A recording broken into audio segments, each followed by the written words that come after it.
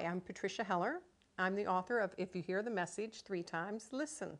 The book is laid out, well, it's, it's my life, so it's fiction. No. no.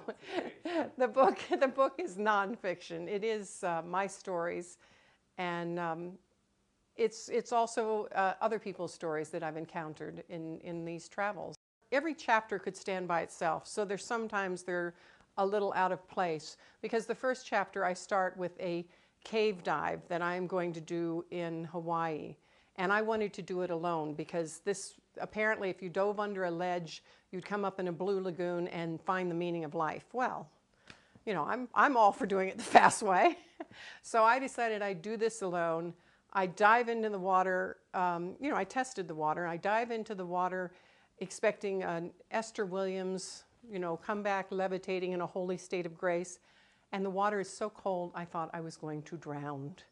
I should have thought right then that that was a message, but what I heard was, I don't know how to love him, what to do, how to move him.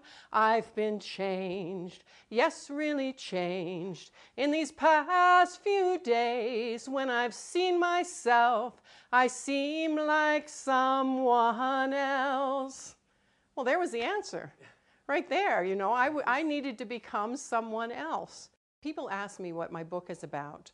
And I say, I'm from Santa Fe. It's about self healing, self discovery, and enlightenment, of course. What else would it be about? And then I go a little further and I say, it's my stories told with my sense of humor. And if you aren't enlightened, I guarantee you will be entertained.